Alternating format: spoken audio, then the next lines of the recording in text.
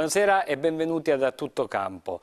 Dunque, eh, questa è la canzone di Checco Zalone eh, che abbiamo voluto dedicare al Pescara e a questa vittoria importantissima eh, sul Tardini, sul campo eh, di Parma, quindi sul eh, Tardini. Seconda vittoria in trasferta per il Pescara, eh, un Pescara non bellissimo ma molto concreto ed efficace. Ora sono tre le vittorie, quattro i pareggi e due le sconfitte. Questa è la situazione che commenteremo con i nostri ospiti, innanzitutto Walter Nerone e Luigi Mascia. Buonasera. Che saluto. Buonasera. Buonasera. Allora, Walter, direi una vittoria importante soprattutto per il morale in questo momento. Io direi anche per la classifica, perché sarà anche corta, però se stai avanti è sempre meglio che se stai dietro, secondo me. Eh sì, una vittoria importante eh, che, che, che, che, conferma una vecchia regola del calcio, che è vero che 5 a 4 piace a tutti, però se siccome per vincere devi fare un gol più dell'avversario, se ne subisci zero riesci a vincere anche col minimo sforzo. E sto Pescara molto poco zemaniano, eh, diciamo che ha, questa caratteristica anomala, finché dura va pure bene, eh, ci ha concesso il bis, quindi comincia a essere non tanto un'anomalia perché dopo Carpi, Parma quasi allo stesso modo, secondo me giocando un po' meglio, e intanto, intanto magari Zeman cioè, lavora per regalarci pure qualcosa del, di, diciamo, di quello che l'ha reso famoso. Se nel frattempo vinciamo altre tre partite per 1-0, secondo me non lo denuncia nessuno Zeman. Certo, allora Luigi, una difesa a dir poco quasi impeccabile, eh, non era iniziato bene il campionato da questo punto di vista, invece adesso eh, è un Pescara sicuramente più equilibrato.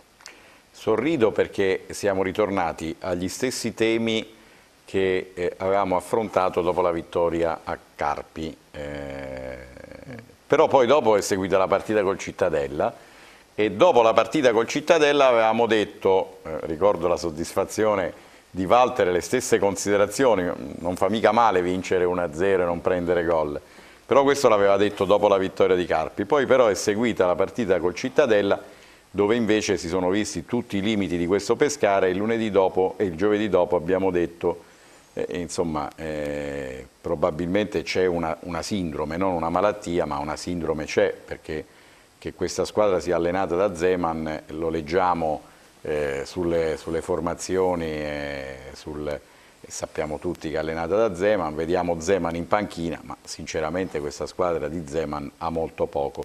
Lo dico perché mi preoccupo, perché poi dopo, eh, e avremo modo di parlarne in trasmissione, segue la partita con l'Avellino, allora questo Pescara con questo modulo e con questa formula, non con questo modulo, con questa formula, con, questo, con questa anomalia, con, questa, mh, stravagante, eh, con questo stravagante assetto, che, che, devo dire, genera comunque dei risultati positivi fuori casa e, e poi da 57 giorni non vince in casa perché poi la coperta è corta, eh, come sovente capita, e quindi riesci a coprirti la testa fuori casa, ma poi ti scopri i piedi in casa.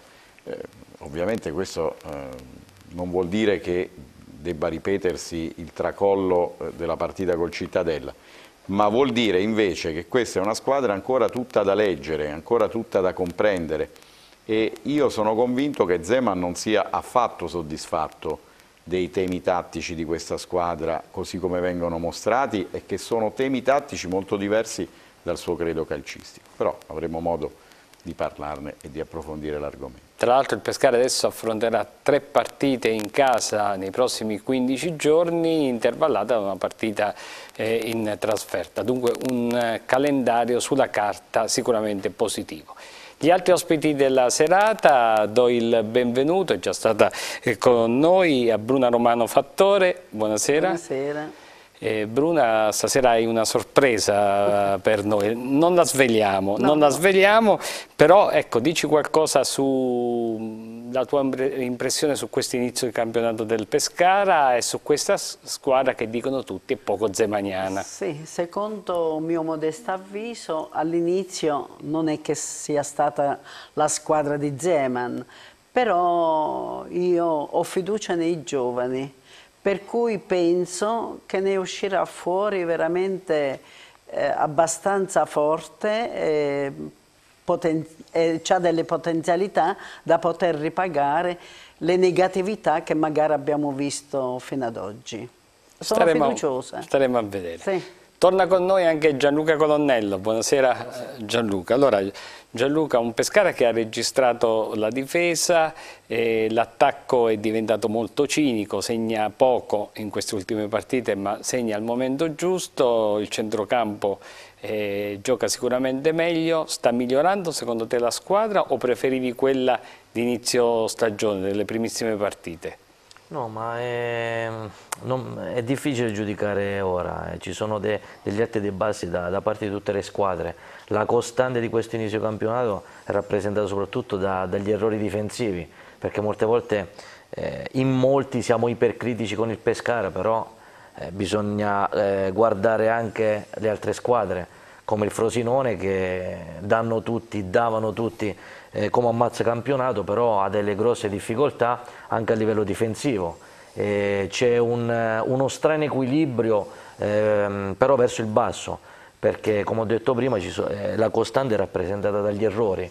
Eh, ogni domenica si registrano eh, degli errori da parte di, di, difensori e quindi a oggi è, è una stranezza, però secondo mio punto di vista bisogna aspettare la quattordicesima, quindicesima giornata. Per quanto riguarda il Pescara, le prossime tre partite in casa diranno molto, eh, perché dopo la tredicesima, la quattordicesima partita di solito si cominciano a staccare eh, le squadre di, di, alta classifica, le prime 4-5 dal resto delle squadre che dovranno lottare o per la salvezza oppure per disputare un buon campionato. Eh, riguardo al Pescara è, è, ancora, secondo me, in fase di costruzione, perché quando ci sono dei risultati così altalenanti eh, fuori casa, in casa, eh, questo è un, eh, è un, sintomo di, eh, di costruzione. Eh, dobbiamo aspettare un pochino perché ci sono state delle defezioni nelle scorse partite, ora Mancuso è rientrato e secondo me è uno dei giocatori che alla fine eh, vedremo eh, rappresenterà eh, qualcosa di importante per il Pescara, un punto fermo, eh, però eh, bisogna trovare la, la, strada della continuità, eh, questo ha bisogno di tempo. Perfetto. Con noi questa sera anche Vincenzo Minguzzi, buonasera Vincenzo. Buonasera. Allora Vincenzo, l'ultima volta che sei stato qui abbiamo parlato della posizione di Pigliacelli, Pigliacelli titolare e ci siamo chiesti come mai un portiere come Fiorillo potesse non solo accettare perché è un, un, professionista serio, ma potesse essere in panchina in una squadra di, di Serie B come il Pescara, adesso è venuto il momento di Fiorillo. Come hai visto questo avvicendamento? Beh, l'avevamo detto, no? c'era questa possibilità, insomma Fiorillo ha dimostrato in passato di poter essere all'altezza di questa squadra, ci ha vinto un campionato, quindi eh, serviva l'occasione per rientrare e magari riprendersi il posto. Probabilmente Pigliacelli mi sembra un giocatore un pochino più reattivo, un pochino più estroso e forse all'inizio si è fatto trovare un pochino più pronto e magari Zeman ha fatto quel tipo di scelta. Adesso non conosco i motivi per cui Domenica ha cambiato, perché Pigliacelli non l'aveva demeritato, ma comunque credo che Domenica abbia fatto il suo dovere anche Fiorillo. Bene, sigla.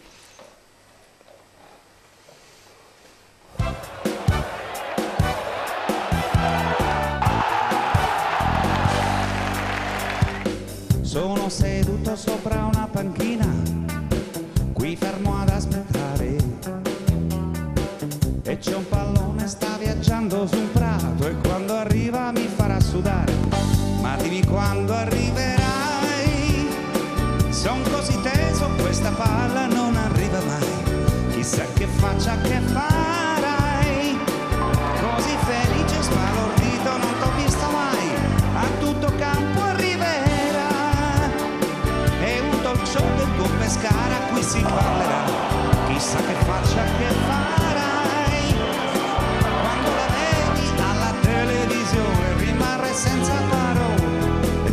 se seguici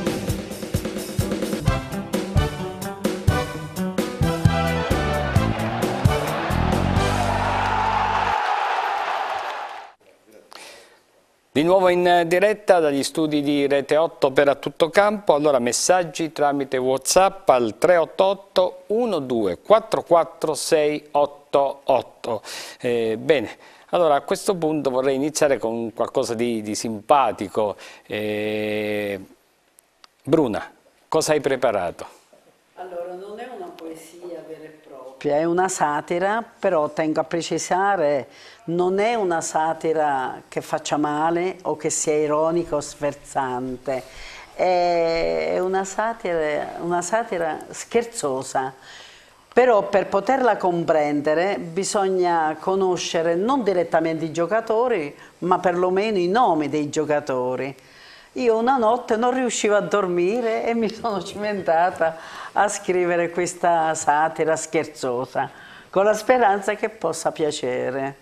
Allora, adesso la, la, leggerai e poi la commenteremo, insomma, vedremo.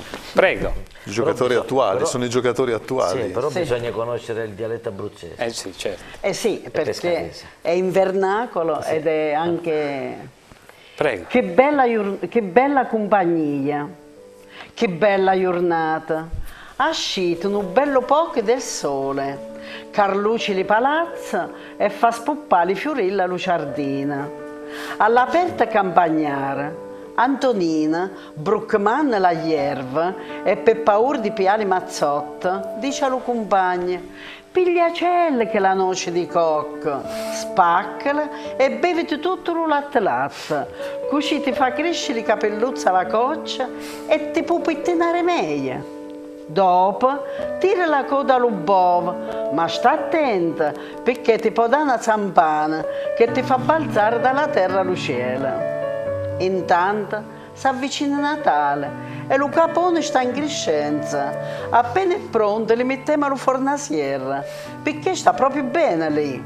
Si fa rosti buono come la tradizione ci proietta all'occasione. Non ci facevamo manco si niente. E che la benedizione di Sebastiano ci assettiamo attorno a un grosso carrare.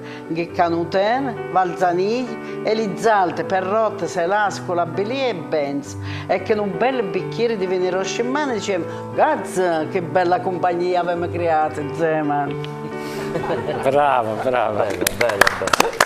Complimenti a Bruna. Grazie, grazie. È un momento sicuramente bello per il Pescara e ancora più bello eh, citare questi giocatori. Certo. Eh, Walter, l'affetto del, del Club Donne Biancazzurre, delle sportive, eh, insomma di tutti i tifosi intorno al Pescara ancora una volta si, si fa sentire. È anche un po' un segnale, no? un segnale. Intorno a una squadra, quando si crea anche il fatto di pensare di fare qualcosa del genere, è perché il clima nonostante tutto è positivo. In un contesto diciamo pessimista, un po' avvelenato da polemiche, soprattutto di scarsa fiducia, magari non viene neanche l'idea di fare qualcosa del genere o se viene l'idea si pensa che non verrà accettata. Secondo me eh, invece questo, questo, queste chiamiamole idee o iniziative sono veramente il sale del calcio, quello vissuto, quello che fa ambiente, quello che crea, che crea eh, l'entusiasmo, che alimenta l'entusiasmo. di queste cose, di queste piccole grandi iniziative diciamo, create intorno al al contesto squadra, a prescindere dal risultato, secondo me ce ne vorrebbe non dico una settimana, ma una ogni Vabbè, tanto. le sì. donne biancazzurre sono sempre state un po' speciali, Poi, ecco, eh? sono la, sempre state speciali. La, la bella anomalia pescarese che le donne biancazzurre hanno sempre rappresentato un modo diverso e gradevole di, di, fare, eh, di sostenere il calcio. A Parentesi che magari sì. c'entra poco per quello, però se no È la stessa sarebbe cosa inaccettabile di dimenticare un, un, abbraccio forte al dottor Sabatini. Ernesto Sabatini, che tanto sappiamo che lui questa partita la vince facile, tornerà eh, presto in campo anche lui. Beh. Eh, veramente un abbraccio Ernesto perché eh, anche lui fa parte della famiglia del Pescara e quindi eh, non sta molto bene ma lo vedremo prestissimo. Allora, eh, Luigi, un Pescara che quindi eh, a questo punto sta non dico migliorando, ma almeno nei, nei risultati e nella classifica. Quando può migliorare ancora la squadra?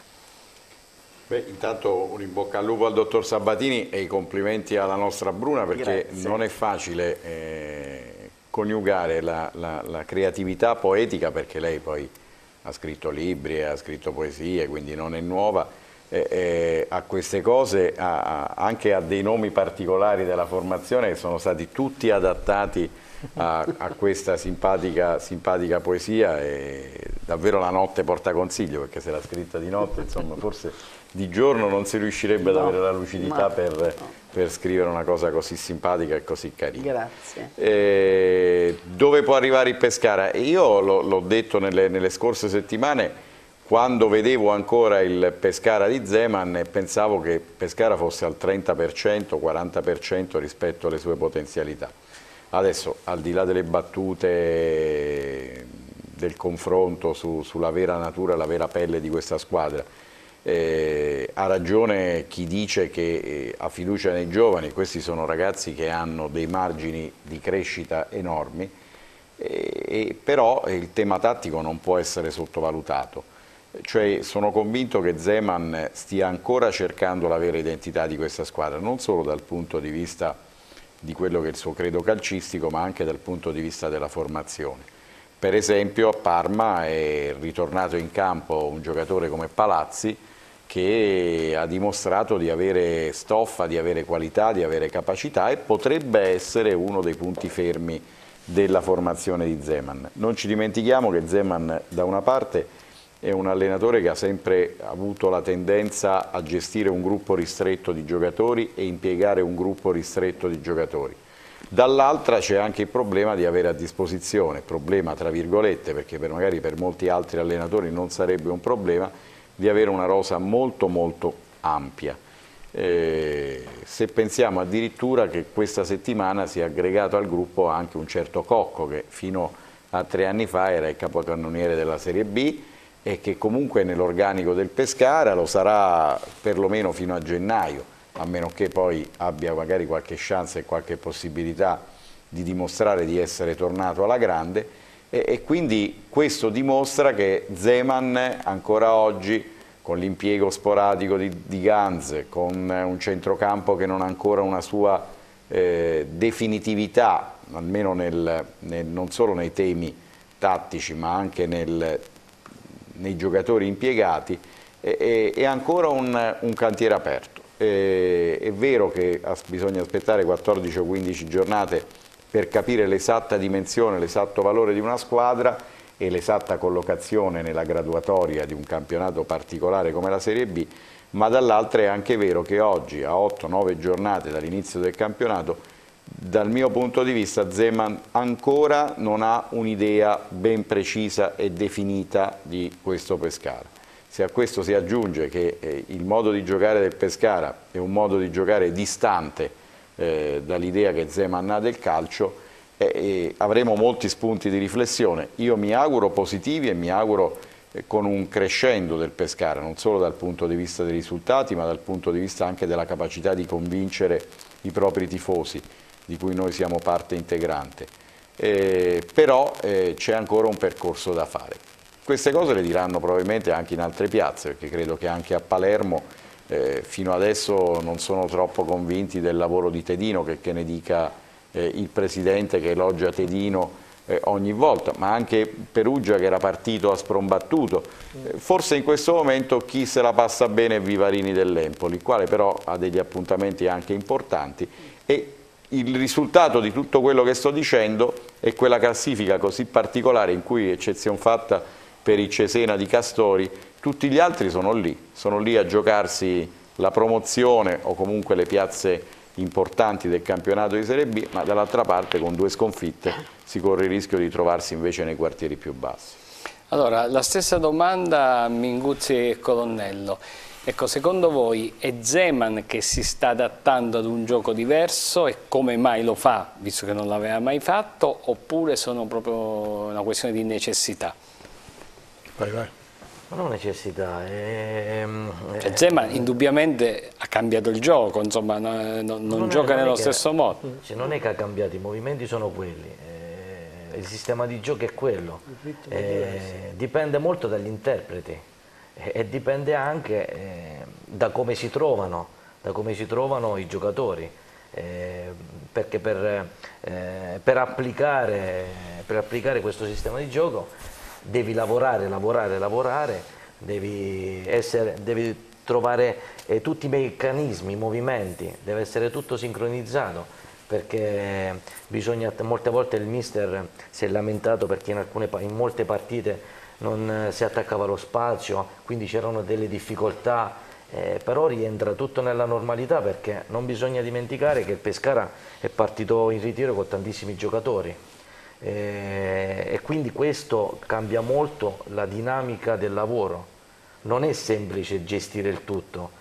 Poi ci sono, sono subentrati degli infortuni, eh, soprattutto da parte di, di, Bovo, da parte di Mancuso e altri ragazzi. Quindi per riprendere il passo eh, tutto necessita tempo e quindi eh, il lavoro eh, spesso, spesso, e volentieri è stato interrotto. Molti non fanno caso a questo, però eh, è molto importante poi siamo, come ho detto prima, siamo all'inizio perché ci sono squadre come il Palermo, eh, come il Frosinone, hanno, hanno del, delle squadre eh, da categoria, cioè sono state costruite per tornare in Serie A.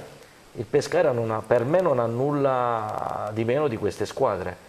Mm, secondo me se il Pescara imbocca la strada giusta e cominciano ad arrivare i risultati, e ripeto nelle prossime 3-4 partite eh, sperando che tutto va come deve andare, quando comincia ad incanalare i risultati, a vincere, eh, la, la vittoria porta sicurezza, ti dà l'opportunità di lavorare meglio e molte volte anche da parte dei giocatori di rischiare di più.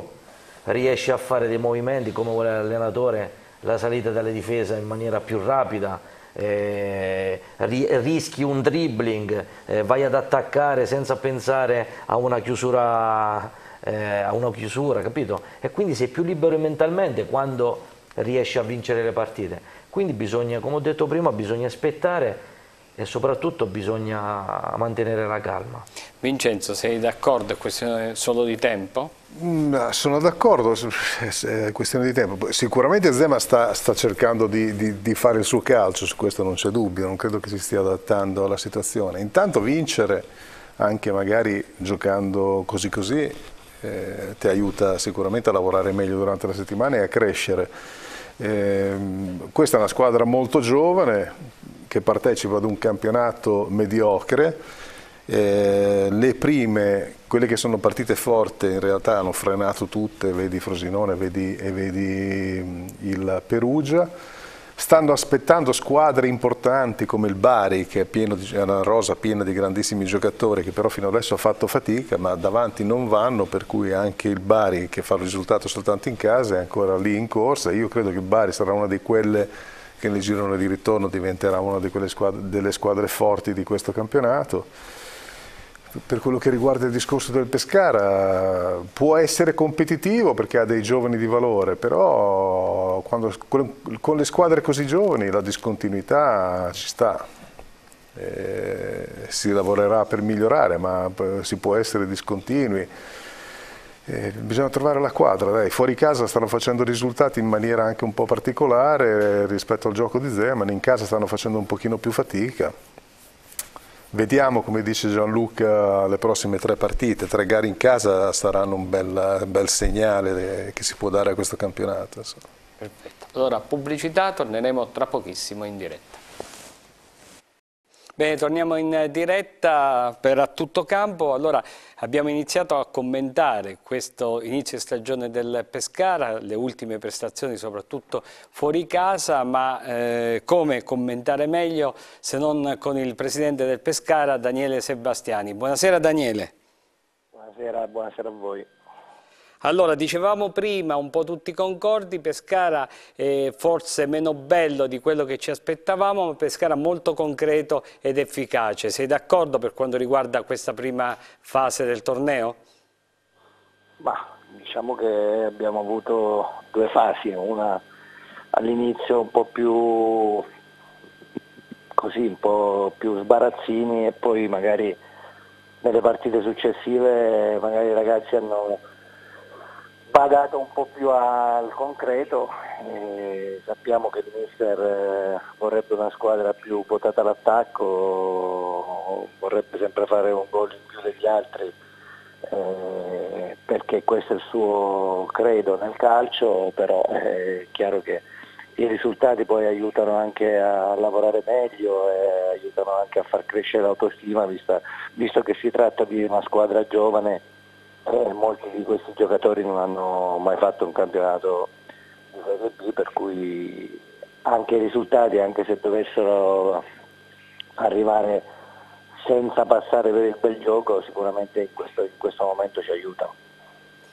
È un Pescara creato eh, e pensato per fare il meglio possibile o comunque l'obiettivo è il raggiungimento dei playoff come minimo? Ma noi non ce lo poniamo l'obiettivo, noi fa... pensiamo di aver fatto una buona squadra che può stare lì a lottare con le altre, abbiamo ancora qualche giocatore fuori eh, importante, abbiamo tanti giocatori importanti in questa rosa e abbiamo tanti giovani di grande prospettiva, quindi a nostro avviso è una squadra che può dire la sua in questo campionato, poi da qui a qualche mese vedremo se abbiamo fatto bene o magari c'è qualcosa da rivedere, però è una squadra che secondo me se la può giocare con le prime 7-8 sicuramente. Walter Nerone, una domanda al Presidente. Ciao, buonasera Presidente. Eh, ti ti faccio una domanda buona e una cattiva, poi scegli tu qual è la buona. La prima è, siamo a un quarto di campionato, ci siamo fatti un'idea del, dire, del, della rosa, delle papabili, delle, delle, avversarie un pochettino quelle più, più solide, quelle più ambiziose o, o, o, comunque delle sorprese. La seconda, che è quella buona, giovedì scorso qui abbiamo avuto un tuo amico al quale eh, diciamo, i tifosi hanno prestato molta attenzione. Eh, sai a chi mi riferisco, no? Antonio Oliveri? Sì, sì, sì. sì, sì. Eh, eh ovviamente anche su quel lato vorremmo avere qualche, qualche informazione in più. Intanto cominciamo dalla prima, che mi aspettavo essere più cattivo, invece comunque è una domanda normale, quindi tra le squadre ci siamo fatti un'idea, sicuramente ci sono 7-8 squadre che sono attrezzate perché Frosinone, Palermo, Empoli, Bari, Perugia, eh, forse mi dimentico di qualcun'altra, ma cioè, sono squadre comunque, la stessa Avellino che incontriamo sabato, sono squadre attrezzate con organici eh, importanti e che si giocheranno, ci vorranno giocare eh, il campionato. Eh, è evidente che in questo momento magari quest'anno non c'è ancora la sorpresa che ogni anno esce fuori in Serie B, anche se per esempio il, Venezia che non è partita con uh, i favori del pronostico è, è lì a, a, 14 punti, quindi potrebbe essere diciamo tra virgolette la sorpresa, ma a noi domenica sabato scorso abbiamo incontrato il Parma che è un altro grande organico che sta soffrendo un pochettino, quindi ci sono tante squadre che in questo, in questo campionato si potranno giocare la vittoria finale o la vittoria attraverso i playoff. Ecco perché prima diceva, dicevo il Pescara sicuramente in queste 8-9 squadre si può stare dentro a, a giocarsela. Eh, poi ripeto, poi magari fra qualche mese ci accorgeremo che le favorite qualcuno perde il passo eh, oppure qualche, qualche, squadra che non abbiamo messo in questo elenco viene fuori e, e, diventa la sorpresa come ogni anno della Serie B. Per la seconda domanda tu sai bene come la penso il mio, amico Diversi. Lui quando vorrà la, la, porta per lui è sempre aperta, eh, non, non c'è nessun problema, siamo grandi amici, lo sapete tutti. Quindi, non, non, non, dipende sicuramente da me, non posso io forzare la mano con nessuno, non devo forzare la mano con nessuno, eh, però siccome questa è una società aperta a tutti, a, a tutti, quelli che vogliono il bene del pescare, sicuramente non ci sono gelosie, non ci sono preclusioni per nessuno di quelli che voglia dare una mano a pescare per diventare più forte. Luigi Mascia voleva farti una domanda. Oggi ho visto una conferenza stampa eh, in cui ti sei, hai fatto un'operazione, una bella operazione per l'immagine della città perché il trofeo Matteotti è arrivato alla 71esima edizione, eh, pelle, carne e sangue della città di Pescara perché rientra nelle maggiori e migliori tradizioni pescaresi. Eh, ti chiedo, eh, facendo una battuta, eh, poi c'è anche l'altro aspetto eh, sulla realizzazione del nuovo stadio, che non è soltanto la realizzazione del nuovo stadio, ma è un'idea di sistemazione anche di un'intera parte della città. Ma a parte il rischio che tu ti possa candidare sindaco, faccio una battuta, eh, sono queste anche operazioni simpatia per recuperare quella parte della città che so che ti fa soffrire eh, ancora oggi magari non ti risparmia qualche offesa o comunque qualche disapprovazione, eh, oppure tu vai avanti per la tua strada con convinzione sulle cose che devi fare senza guardare invece a questo aspetto. Io penso che invece tu guardi anche a questo aspetto. No Luigi, io sinceramente io operazioni di simpatia non sono abituato a farne perché a mio avviso uno deve essere apprezzato per quello che fa, per quello che dà e non perché passano il termine debba fare delle marchette per essere apprezzato. Per quanto riguarda il Matteotti secondo me era giusto e doveroso anche perché comunque sono nell'organizzazione oramai da 15 anni come vicepresidente e siccome Renato aveva deciso di smettere per me da pescarese e da appassionato di ciclismo è impensabile che una, una, classica come il Matteotti possa sparire. Stamattina Renato Ricci ha detto una, bella cosa, il Matteotti non si vende e non si compra. Matteotti è una manifestazione della città, io ho, messo, ho portato insieme a me delle persone che sicuramente mi daranno una mano per cercare di eh, arrivare a, a, trovare un budget sostenibile per fare una corsa di grande livello come il Matteotti merita. Abbiamo spostato la data al 23 settembre, il 23 settembre è, è una premondiale a tutti gli effetti perché la settimana successiva si corre il mondiale e quindi abbiamo la ragionevole certezza che quasi tutti i big verranno a correre il Matteotti anche perché vorranno preparare al meglio il mondiale e quindi sulle strade pescaresi e diciamo della grande pescara dai, che adesso va, va di moda si, troveranno tutti i più grandi protagonisti del Matteotti e sicuramente tornerà ad essere una corsa importante come è sempre stata. Poi per quanto riguarda l'ultima preoccupazione tua, non ti preoccupare perché il sindaco non lo farò mai. allora c'è anche Bruna che voleva, voleva dirti qualcosa. Bruna. Presidente, buonasera. Ciao Bruna. Salve, io mi soffermo a quello che ha detto il collega Nerone prima della, alla sua seconda domanda.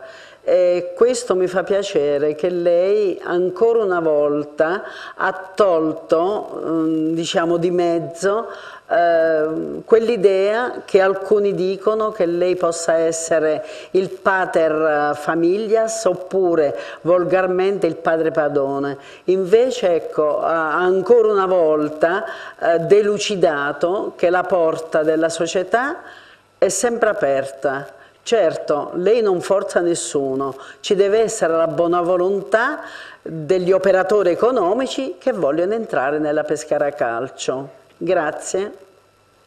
Grazie a te Bruna, ma è un ribadire quello che ho sempre detto, eh, al di là di entrare, se dovesse esserci qualcuno disponibile pure a subentrare completamente, nessuno si metterebbe, metterebbe i bastoni tra le ruote. Chiaramente oggi il Pescara è una società che è uscita fuori veramente con grande fatica dalle sabbie mobili e quindi è giusto che chi arrivi almeno... Eh, perlomeno valuti questa cosa qui.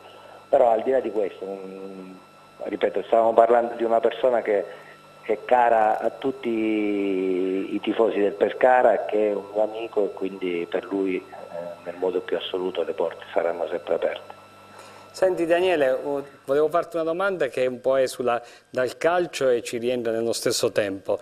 E ti sei mai chiesto perché Daniele Sebastiani, un po' come tutti i dirigenti, ma in modo particolare, è o molto amato o molto odiato? Ma io penso che nel calcio questo succeda un po' a tutti, no? cioè, sì. eh, purtroppo ci sono piazze e presidenti ben più importanti di me che non possono nemmeno andare allo stadio a vedere la partita in questo momento, quindi ehm, secondo me è un fatto culturale tutto italiano che chiaramente eh, esiste e speriamo che in qualche modo migliorerà nel futuro per chi verrà nel calcio, perché questo è anche uno dei motivi per i quali molti imprenditori importanti non si avvicinano a questo mondo, perché non si può pensare di passare dall'essere un fenomeno all'essere un deficiente nell'arco di due partite.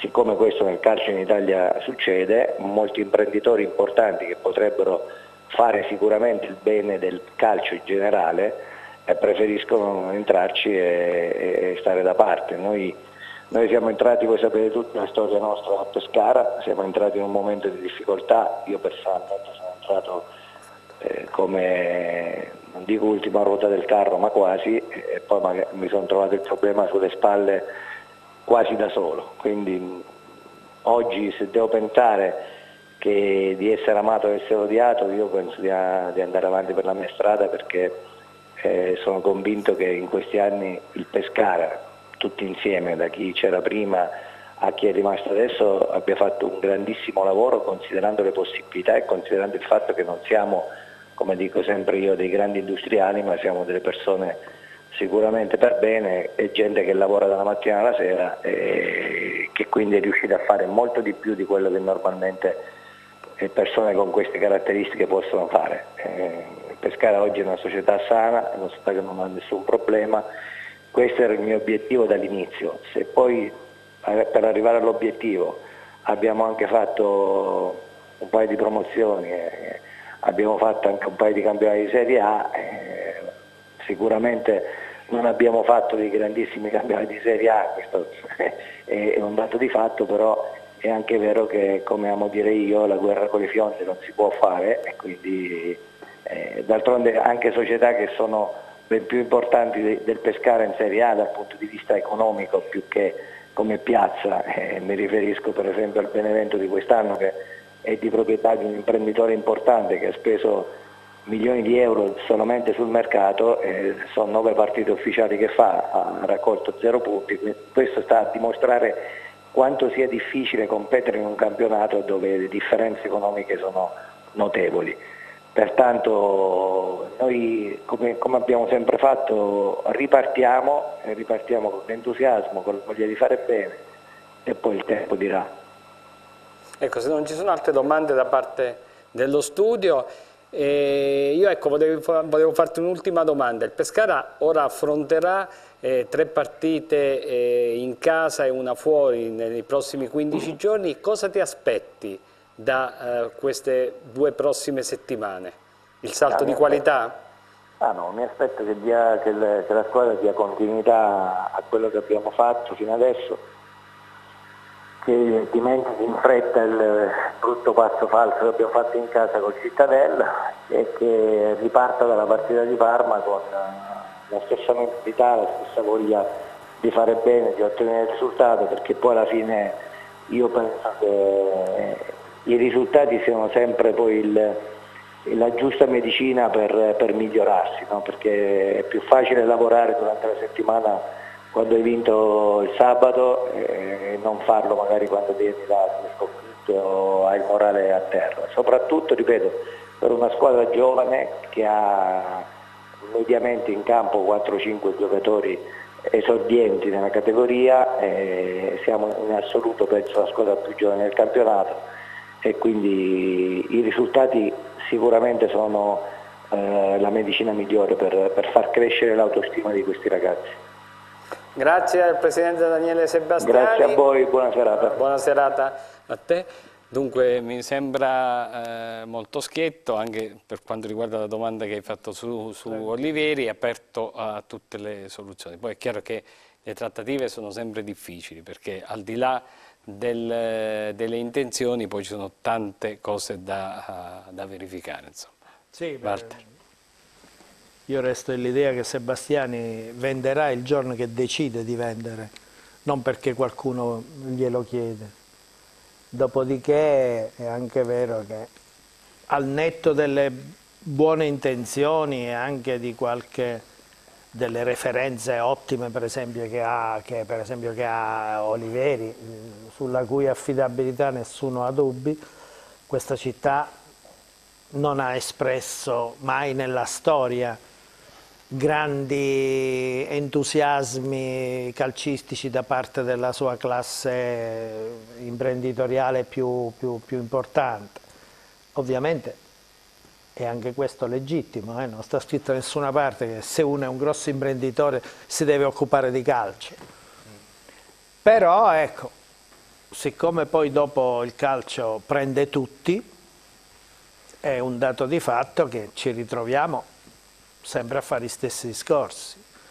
Eh, il calcio interessa tutti, interessa anche la parte economicamente più importante della città, interessa anche molta gente che sullo, sullo sport in generale, sul calcio in particolare, diciamo, eh, fa leva per i propri interessi legittimi, eh, però da, diciamo, no, non vuole rischiare più, più, de, più del del necessario, in molti casi non rischia affatto.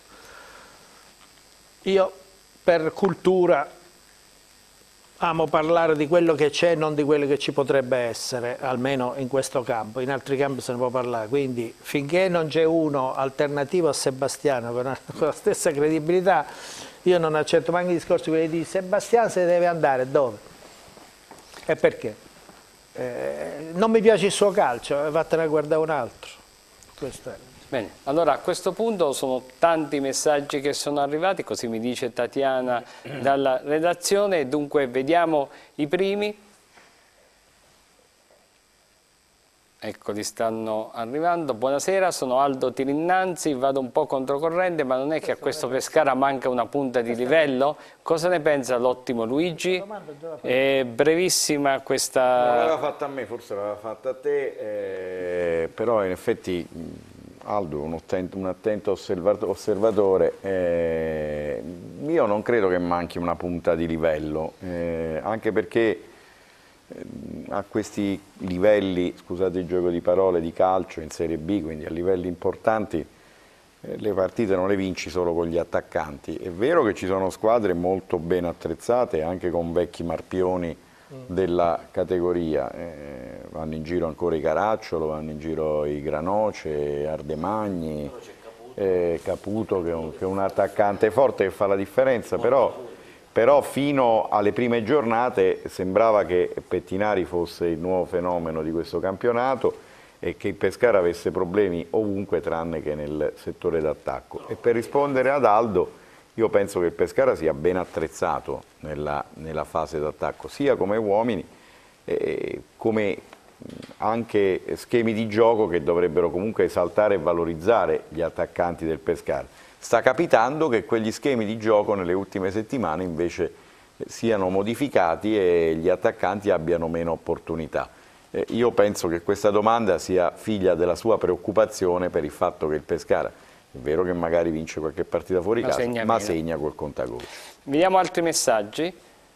Andiamo avanti perché sono tante le curiosità di coloro che ci seguono da casa, allora questo è molto lungo, un saluto a tutto lo studio da Antonella, e qualche mia considerazione sulla squadra scesa in campo sabato che ho visto più equilibrata che in altre occasioni, decisamente meglio disposta, più bassa in difesa perché siamo più efficaci anche se mi piacerebbe vedere marcature più strette. Mi dispiace molto per Koulibaly in panchina e Canutè che sbaglia ancora troppi appoggi, ma al momento preferisco il centrocampo, così come dopo la sostituzione con Carraro. Meglio anche Zambano e Benebancuso che interpreta bene gli schemi di Zeman. Siete d'accordo dallo studio? Un grande in bocca eh, in bocca al Pescara che speriamo approfitti anche dell'assenza di Migliorini squalificato. Insomma ha, detto, eh, ha fatto un'analisi molto eh, complessa Antonella che, che, ringraziamo che ci segue sempre.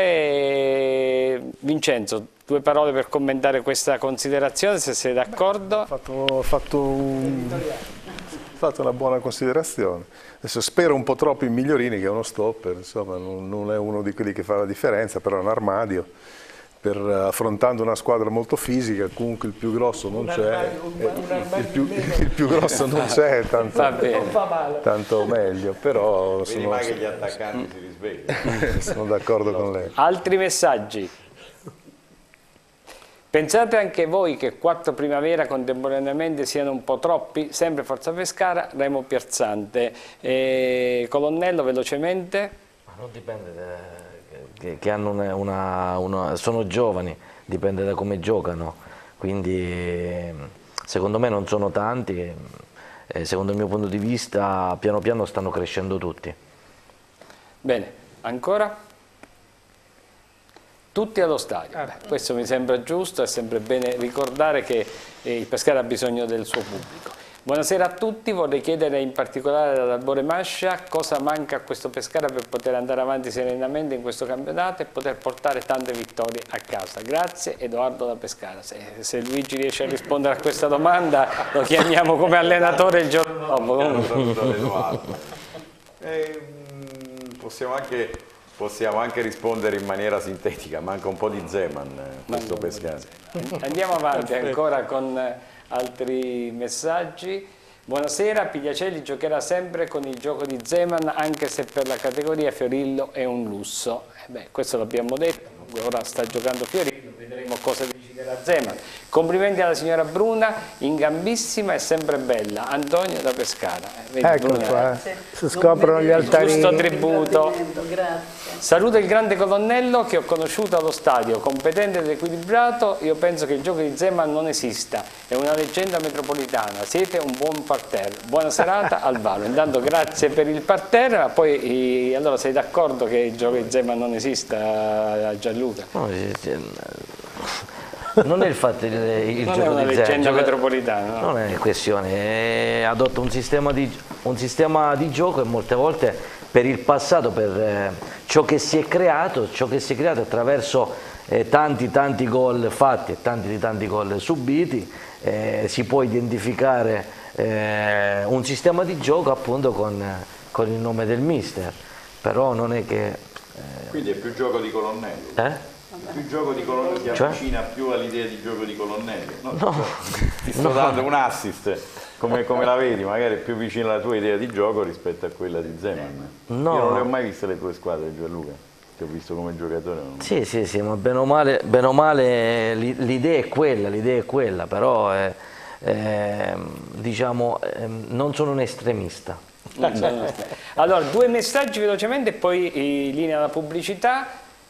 Abbiamo una squadra molto giovane per cui bisogna avere pazienza, forza mister, avanti tutta che verremo fuori alla grande, questo è un augurio perfetto. Buonasera, vorrei un commento sulla disdetta eh, di Oddo al Cagliari al quale è stato preferito Lopez. Complimenti per la trasmissione, sempre la numero uno. Grazie, grazie a chi ci scrive, chi ci vuole commentare. Posso dire una cosa Luigi. su questo? Volevo fare, eh, tra le domande che potevano essere fatte a Sebastiani, ce n'era una che gli avrei fatto, e cioè per eh, più che la disdetta e il mancato ingaggio di- Certo, di, Oddo, se la cosa gli poteva far piacere, perché non è un mistero che Oddo sia nel libro paga del Pescara Mm. e quindi credo che sia anche un onere per la società, o se dall'altra, e qui era la Era provocazione, una valvola di- Eh, e alla fine essendo, essendo un tesserato del Pescara, vedi mai che magari era sempre utile averlo a disposizione e quindi l'avrei fatta la domanda a E Sebastiano. visto che non è andato a Cagliari facciamo in tempo a fargli in un'altra occasione. Eh, certo, eh, certo. Va bene, allora pubblicità, fra pochissimo di nuovo in diretta. Io l'ho preso Lopez. 22 e 30 minuti, torniamo in diretta dagli studi di Rete 8. Allora, qualche altro messaggio, visto che ne sono moltissimi. Eh, completamente d'accordo con Mascia, squadra base non ancora definita. Elizalde potrebbe trovare realmente spazio, salve da Remo. Ma non è che Gans farà la stessa fine di Cocco, cioè la panchina? Beh, questo non lo so, speriamo di no, ovviamente. Eh. Buonasera, mi auguro che prima o poi si esca dai luoghi comuni e parlo del provincialismo pescarese, le donne biancazzurre ci insegnano da anni la cosa. Zeman è apprezzato da anni e in mezza Europa, non è possibile che non capisca che si possa giocare in diversi modi, poi tra tutti sceglierà il migliore per vincere e lanciare i giovani. Ritengo sia questa la strada per le maglie dovremmo ancora, le per le magie. scusate, dovremmo ancora attendere. Un saluto. Paride. Beh, in effetti le magie, insomma, non, non è facile farle. Chiedo al signor Nerone se il proietti è più adatto agli schemi di Canutè. Beh, dell'attuale sì, però Canutè forse sul piano fisico dà qualcosa in più, anche se secondo me questo centrocampo con Palazzi che mi, mi permetto di ricordare, aspettavo, ho citato più di una volta, con Palazzi migliora molto. Se Canutè cresce un po' o se Proietti ci aggiunge qualcosa, forse abbiamo trovato la quadra là in mezzo.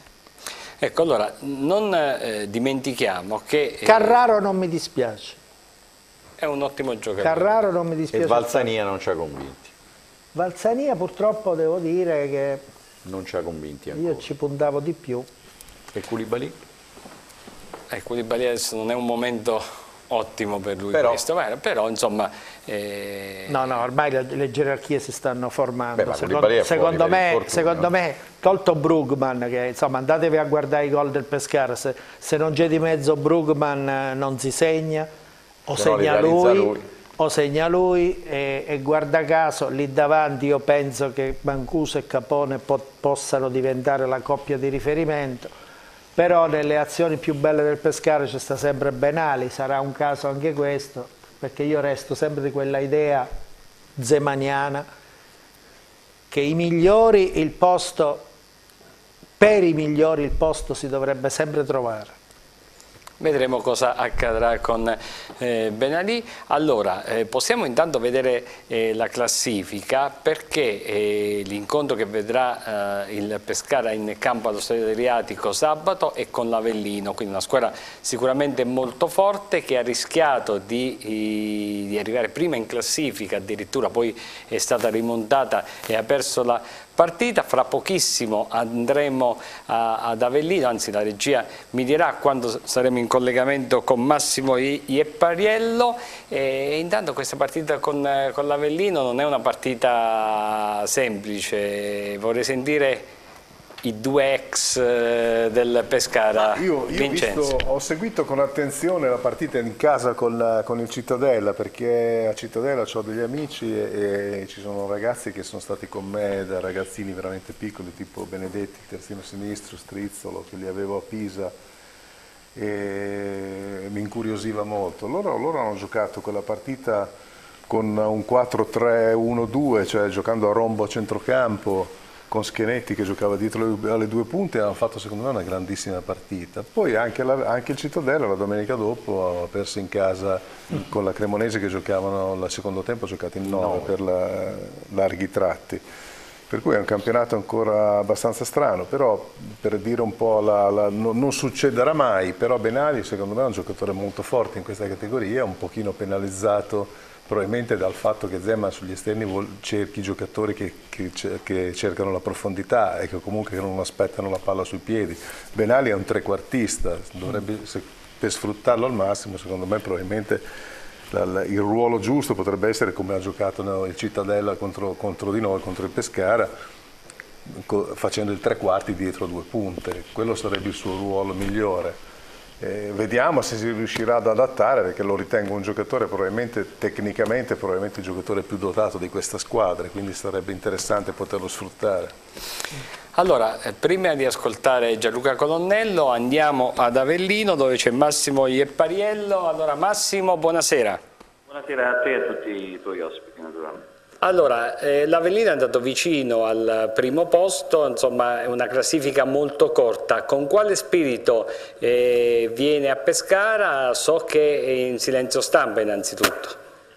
Sì, si respira un clima di forte rabbia e delusione, naturalmente dopo la sconfitta incredibile nel derby contro la Serenitana, dopo il doppio vantaggio, la Perina negli ultimi 15 minuti si è sciolta come neve al e ha lasciato sul campo tre punti pesantissimi dopo aver pregustato il, il primato e quindi con il grande entusiasmo del proprio pubblico. Eh, clima anche surreale perché la squadra si sta allenando a, a porte chiuse, lontano da occhi indiscreti, anche per eh, cercare la serenità giusta dopo le tante critiche e le polemiche che si sono poi che hanno seguito il dopo derby.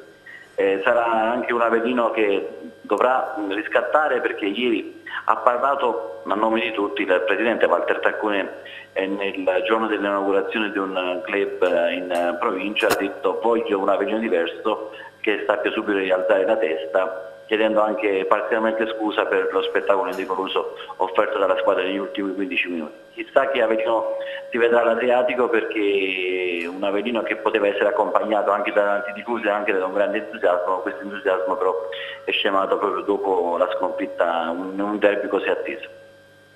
Ecco, dunque, eh, come si guarda a questa partita? Che cosa ci si aspetta? Un eh, pareggio potrebbe essere gradito o, oppure che tipo di, di, di partita farà l'Avellino secondo te?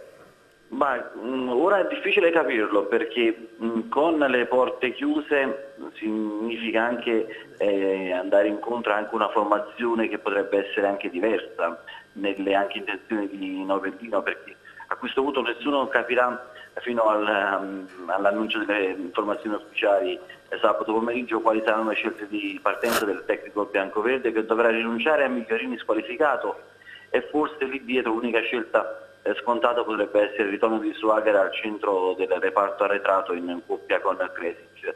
Potrebbe cambiare molto il centrocampo dove Molina Uh, sicuramente sta attraversando un momento di appannamento e potrebbe lasciare il posto a Bidawin. Come sulla mediana forse potrebbe esserci un cambio perché Vitacchio e, mh, e D'Angelo, il capitano dei Lupi, stanno accusando la stanchezza. In avanti dovrebbe mh, esserci staffetta tra Asensio e Castaldo con eh, lo spagnolo di proprietà del Genoa che dovrebbe affiancare Ardemagni, però stiamo parlando sempre di ipotesi perché a questo punto bisognerà davvero aspettare proprio gli ultimi minuti prima del fischio iniziale di Chiffi per capire quale, quale potrebbe essere la formazione scelta da Novellino. Certo rispetto a quello che si è visto nel derby ora è un grande enigma, un grande punto interrogativo anche capire come la squadra reagirà se ci sarà davvero la risposta come ha chiesto il presidente Walter Taccone oppure la squadra risentirà del contraccolpo psicologico di aver perso una, una partita eh, in quel modo balordo con il gol di Milano al 96. Bene, grazie, ti ringraziamo Massimo, grazie. alla prossima, buona serata. Grazie, buona serata. Immagino l'ambientino a Avellino questa settimana. Eh sì. Poi in definitiva, in definitiva, non è che la posizione in classifica sia tutt'altro, insomma, però è un ambiente molto caldo. Potevano andare... Sì, però non dipende dalla... Cioè, dal mondo. Le, le, le partite così eh, portano lasciano in... il segno. Lasciano il segno assolutamente perché vincono 2-0, eh, grandissimo pubblico. Poi sentitissimo. Eh, sentita lì tantissimo, 2-0 per il 3-2, però non è finita lì la partita, certo. perché è successo di tutto.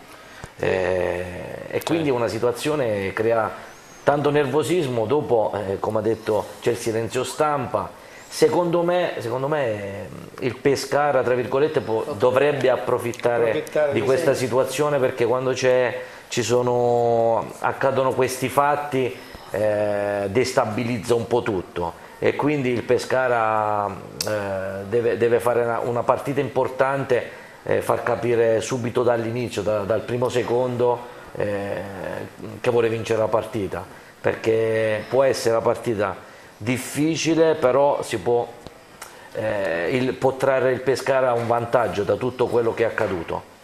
Credo che sia molto giusto quello che, che dice Gianluca.